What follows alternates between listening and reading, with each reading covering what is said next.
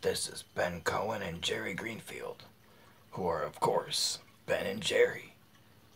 You see, they were childhood friends, and they completed a correspondence course on ice cream making from Pennsylvania State University's Creamery in 1977.